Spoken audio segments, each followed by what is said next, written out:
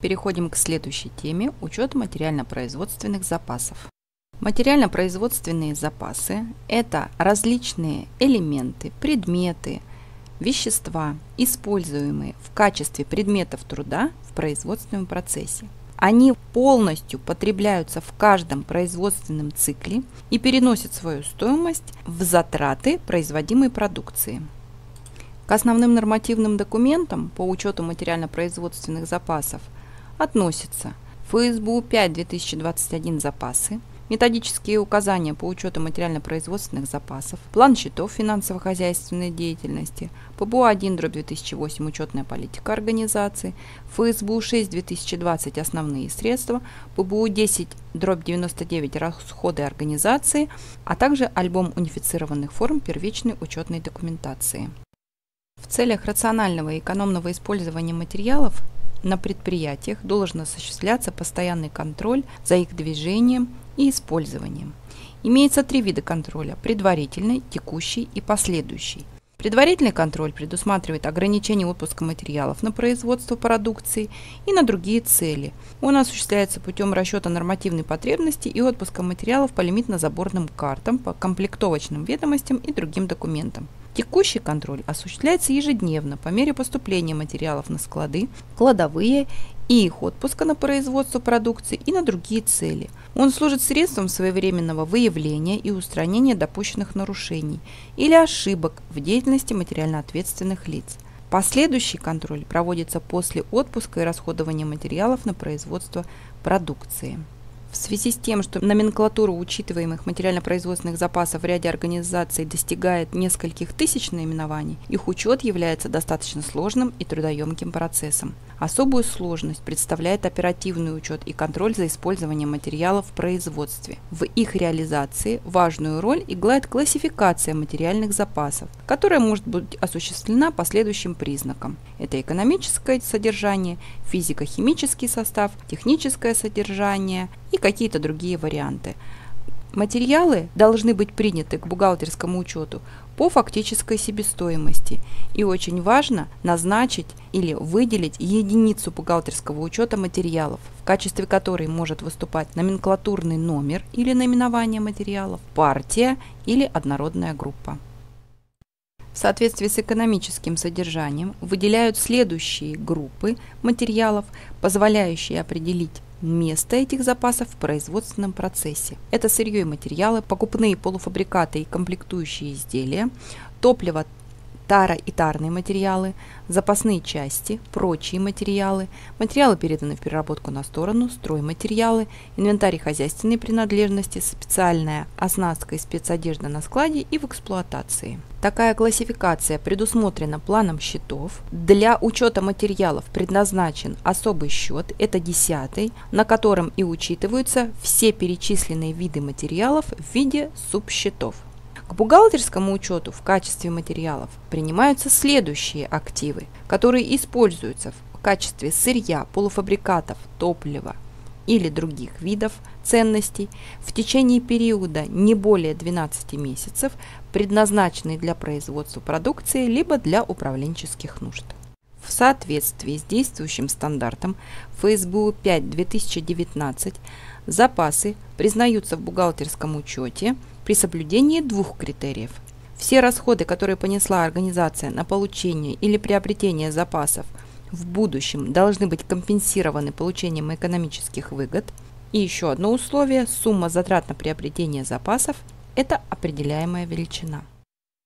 В соответствии с ФСБУ 5-2019 материальные запасы в момент поступления учитываются по фактической себестоимости. При этом могут быть использованы различные варианты, а их два – по учетным ценам с применением счета 15 и 16 и по фактической себестоимости с применением счета 10. Чаще всего на практике организации используют вариант с применением счета 10 по фактической себестоимости, куда включаются все суммы затрат, связанных с приобретением, за исключением расходов, связанных с хранением и транспортировкой. При учете по фактической себестоимости мы используем десятый счет, и все затраты, связанные с приобретением, будут учтены по дебету счета 10 в корреспонденции с разными счетами. На слайде вы эти проводки видите. Однако существует ряд предприятий, которые применяют счета 15 и 16. И целесообразность применения объясняется вот чем. Если предприятие использует в своей практике планово-расчетные или нормативные или учетные цены, то применяют счета 15 и 16. Если сложная структура себестоимости, достаточно большой перечень затрат формирует первоначальную фактическую стоимость материалов, то также мы используем счета 15 и 16. И если у нас довольно длительный процесс заготовления материалов. И в случае применения данных счетов все затраты, связанные с приобретением материалов, учитываются по дебету счета 15. Он называется заготовление и приобретение материальных ценностей. Далее на учетную стоимость мы делаем проводку дебет 10, кредит 15 и вся сумма отклонений в виде перерасхода или экономии списывается в дебет счета 16 в корреспонденции со счетом 15. ФСБУ 5 дробь 2019 предусматривает оценку материально-производственных запасов после признания по двум вариантам. Это по фактической себестоимости и по чистой стоимости продажи.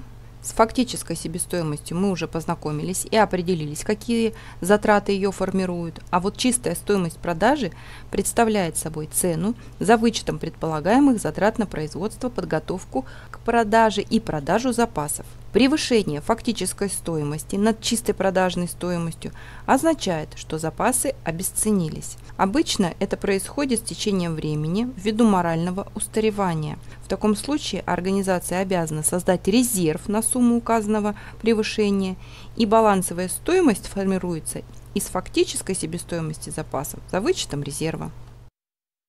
Материалы – это один из видов запасов, которые необходимы для производства продукции, выполнения работ или оказания услуг. Списание материалов всегда должно подтверждаться первичными документами. К ним относятся лимит на заборные карты, требования накладные, а также это может быть форма, самостоятельно разработанная предприятием. Очень важным моментом является то, что запасы должны списываться в определенный момент времени. Это может быть признание выручки от продажи, осуществление иного списания запасов, отсутствие перспективы экономических выгод от дальнейшего использования, а также невозможность использования в уставной деятельности для некоммерческих компаний. При этом в расходах должна быть отражена балансовая стоимость запасов. Для каждого из указанных случаев расходы должны учитываться отдельно. И вот способов списания запасов – в соответствии с действующим стандартом 3.